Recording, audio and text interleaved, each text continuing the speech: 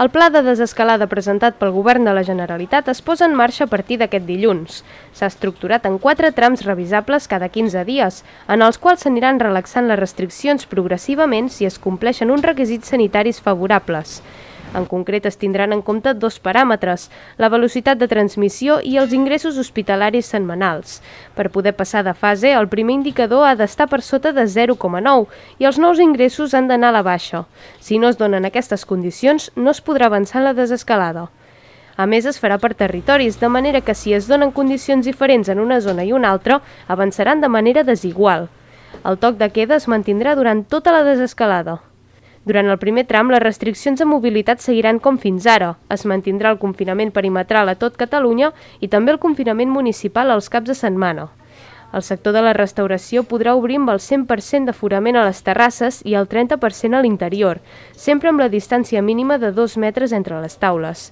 Així mateix podran obrir de les 6 del matí a les 6 de la tarda i des d'aquesta hora fins a dos quarts de 10 del vespre.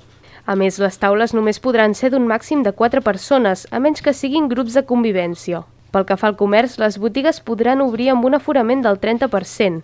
Els centres comercials es mantindran tancats, excepte els establiments de primera necessitat. També podran obrir perruqueries i estètiques amb cita prèvia i reforç de les mesures de prevenció de contagis.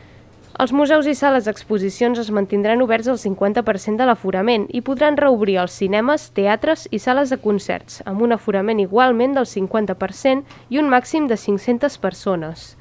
També reobren els equipaments esportius a l'aire lliure, amb un 50% d'aforament i control d'accés, i els espais interiors amb un 30% i cita prèvia. Les competicions seguiran suspeses.